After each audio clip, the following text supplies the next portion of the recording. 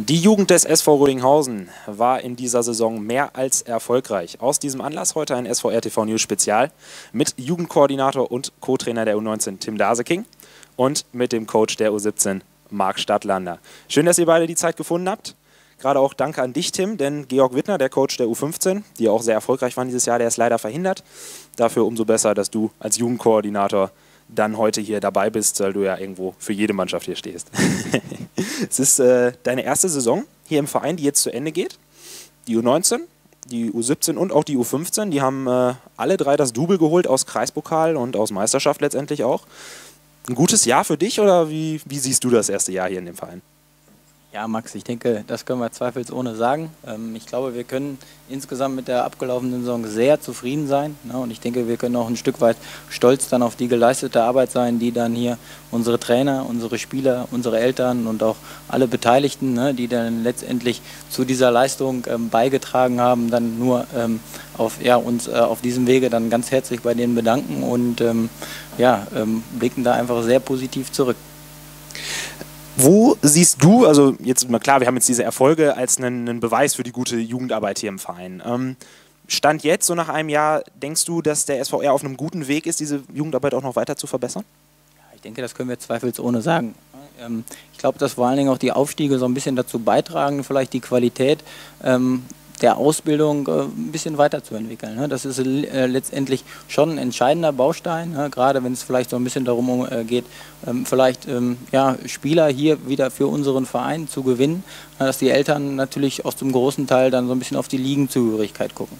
Wir treiben natürlich dadurch, ähm, tragen wir so ein bisschen dazu bei, dass wir die Qualität verbessern, sind natürlich aber auch bemüht, ne, neben der Ligenzugehörigkeit vor allen Dingen so ein bisschen auf ähm, ja, den Trainingsbetrieb zu gucken, dass wir uns einfach viele, viele Gedanken machen, wie wir die Organisation um diese Mannschaften ähm, einfach verbessern können und vielleicht immer Stück für Stück etwas professioneller werden wollen.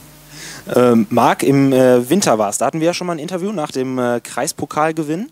Ähm, da hast du gesagt, dass äh, du bei so deiner Planung äh, für die, diese Saison dir natürlich erhofft hast, dass die Mannschaft diesen Erfolg haben wird, den sie jetzt dann diese Saison auch letztlich hatte. Aber gut, also Erfolg ist natürlich nicht planbar. Als Trainer kann man so ein bisschen äh, versuchen rauszukitzeln, indem man halt gute Spieler holt. Ähm, da würde mich jetzt mal interessieren, als Trainer guckst du da nur auf die spielerische Qualität oder achtest du auch auf den Charakter eines Spielers? Also neben der sportlichen Qualität achten wir natürlich ganz besonders darauf, auch, dass die Spieler charakterlich äh, zu uns passen, dass es halt in Mannschaftsgefüge sich integrieren kann.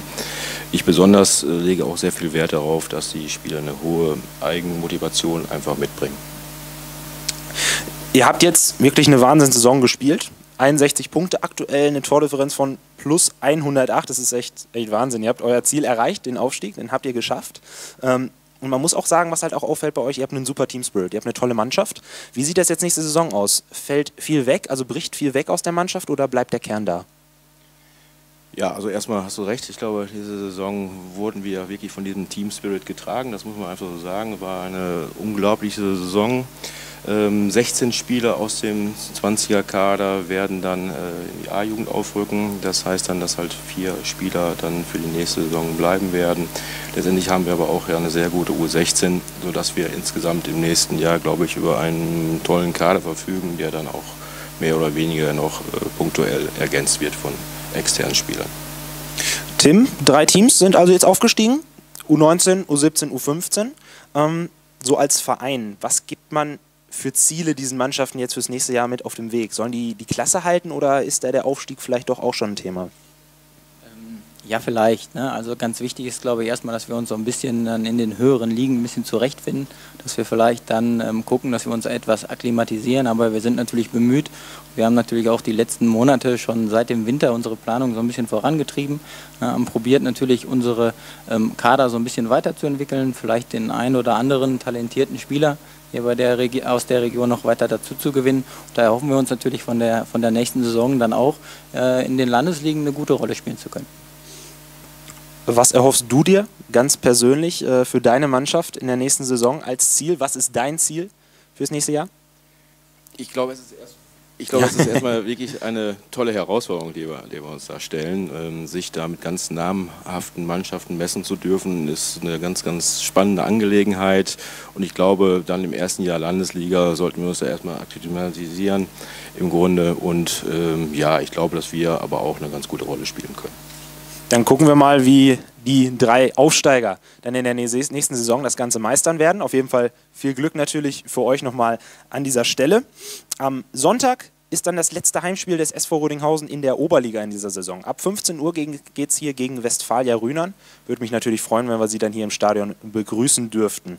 Der letzte Termin vor der Sommerpause des SVR ist dann am 3.6., also am kommenden Dienstag, das Pokalfinale in Kirchlengern. Auch da ist Ihre Unterstützung wie immer sehr willkommen.